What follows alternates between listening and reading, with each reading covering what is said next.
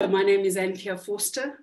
I'm a sales performance coach, and for the past 13 years, I've been involved in sales coaching and specifically unlocking sales performance from within individuals, but not just individuals, also business owners.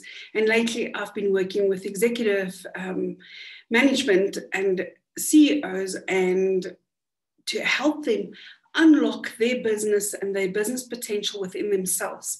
Now, an achiever is somebody who always wants to be out there that always feels that what they've done is not good enough. It's they need something more.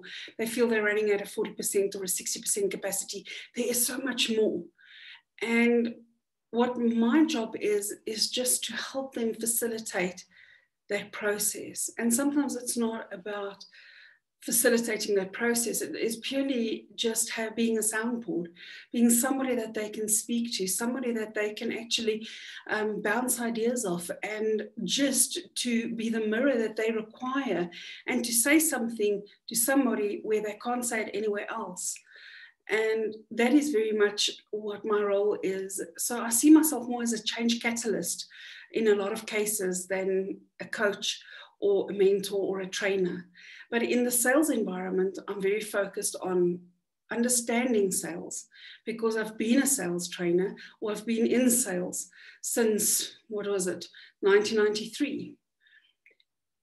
And with the years of experience and selling from a physical product right through to a solution sale to a 63 um, annual contract um, for one of the major banks, overachieving 400%, but taking that knowledge that I've gained through all the years of how to actually really close a deal, how to uncover a deal, how to uncover uh, a loyalty or to move a loyalty away from a current supplier into a new supplier.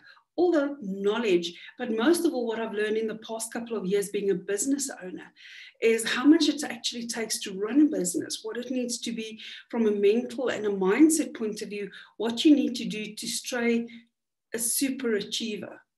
And with that, um, that's just a little bit of background of who I am and where I've come from. For now, I'm part of Expansive Me, a division of GBD, Growth by Design, and we focus on organizational development, really looking at where's a business, where it needs to be, where does it need to go. And I head up Expansive Me, which is focused on purely the coaching, mentoring side of a business.